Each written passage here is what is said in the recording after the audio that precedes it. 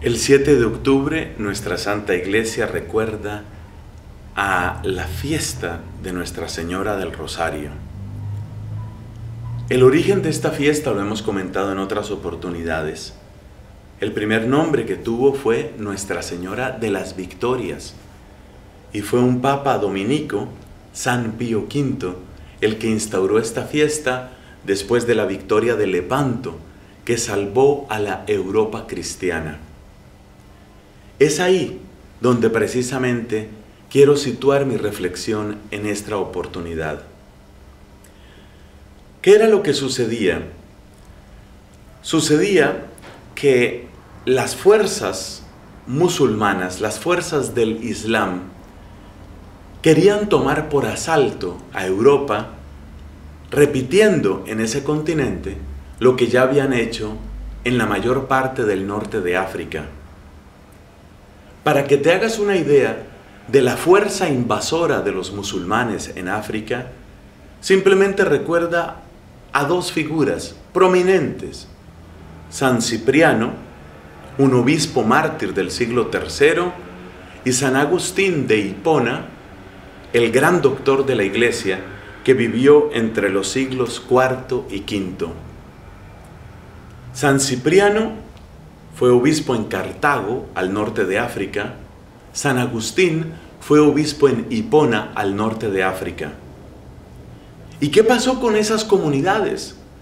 Comunidades regadas con la sangre de tan ilustres mártires como Cipriano y muchos más.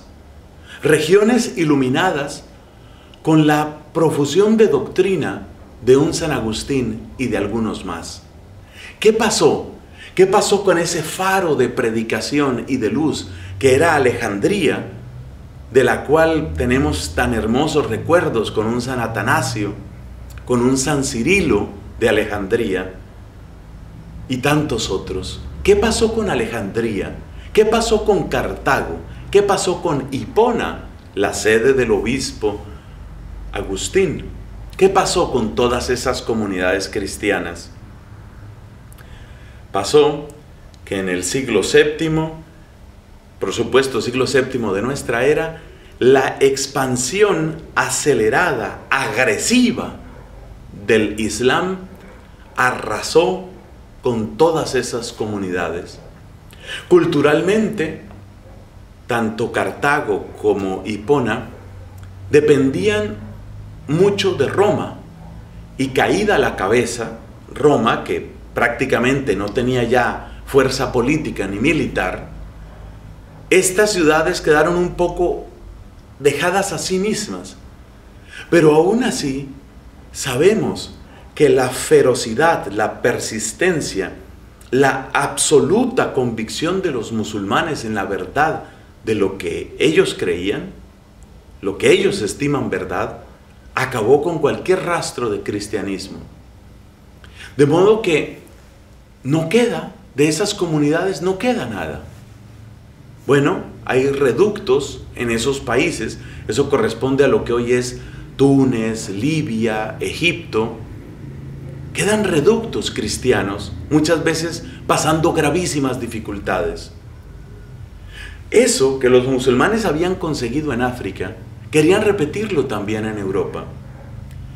Penetraron por el sur de España, la región que se conoce como Andalucía, y ahí vino una larguísima, larguísima lucha, porque aquellos cristianos de España no se dieron así nomás, especialmente hacia el centro de la península ibérica, lo que corresponde a Castilla, continuamente el borde se estaba moviendo en uno o en otro sentido, el borde entre lo musulmán, entre lo árabe y lo cristiano.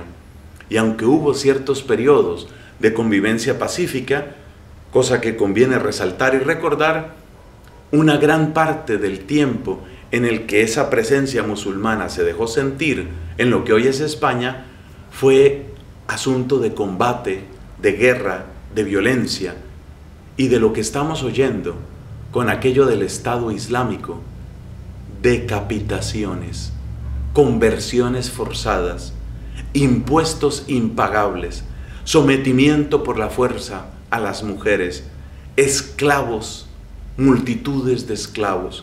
Esa fue la Edad Media, esa fue la presencia del Islam en buena parte de lo que recordamos en el sur de España. Siendo así las cosas, cuando se plantea la batalla marítima de Lepanto, el Papa Pío V sabe qué es lo que puede venir para Europa. Y por eso ora a la Virgen. Y por eso clama defensa, defensa del cielo. Porque sabe lo que está en juego. Y aquí viene la pregunta. Frente a las actuales avanzadas y agresiones no menos crueles de este islamismo radical, ¿habrá quien crea? ¿Habrá quien ore? ¿O estamos dejando todo simplemente a la política, a las bombas sofisticadas, a los aviones ultramodernos de Barack Obama o de la Unión Europea? Soy un convencido de que también en nuestro tiempo el arma principal ha de ser la que utilizó Pío V, el Santo Rosario y la certeza de que un cristianismo vivido hasta sus últimas consecuencias no será vencido.